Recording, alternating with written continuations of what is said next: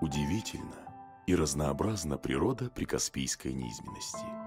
Среди гор, степей и пустынь раскинулось Каспийское море.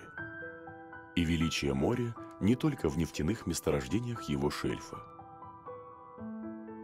Сохранение биологического разнообразия Каспия – одна из приоритетных задач всех прикаспийских государств. Одним из уникальных объектов животного мира Каспия является его единственное млекопитающее и эндемик – Каспийский тюлень.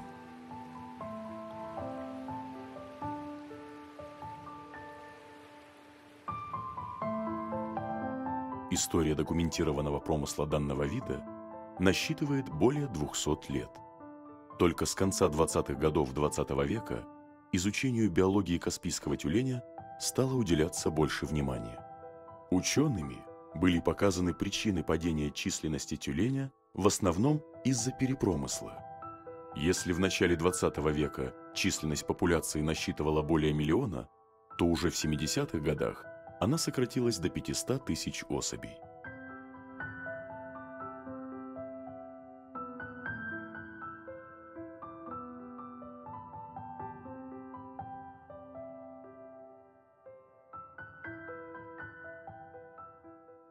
С 2005 года планомерные исследования Каспийского тюленя в Казахстане проводились международной группой ученых, включающая специалистов из Великобритании, России, Эстонии, Швеции и Казахстана.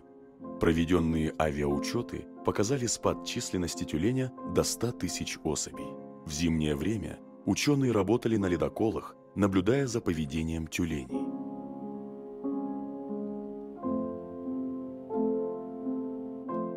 Весной и осенью проводились работы по мечению животных, которые дали возможность понять миграцию тюленей по Каспийскому морю.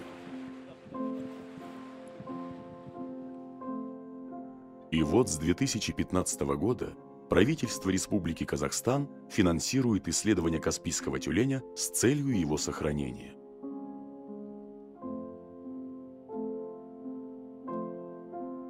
Получено много новых научных данных о распространении, условиях места обитания и факторах риска для Каспийского тюленя. Нет, сейчас нет. Мы на море-то каждый день почти бываем. Сейчас не видим. Очень-очень редко где-нибудь вдалеке, может, там вот вдалеке проплывет В пригородной какой-то. черте вообще перестали они. А в городской черте нет, Нет, не совсем. видно. Совсем А раньше нет. мы с ними рядом плавали, они такие забавные.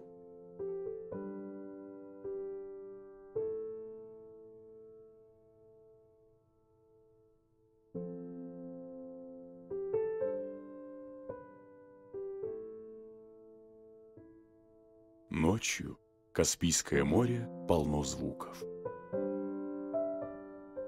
Сквозь них еле уловимо доносятся голоса каспийских тюленей, рассказывающих о своей истории, истории единственного морского млекопитающего, загадки проникновения и жизни которого в Каспийском море далеко не разгаданы человеком.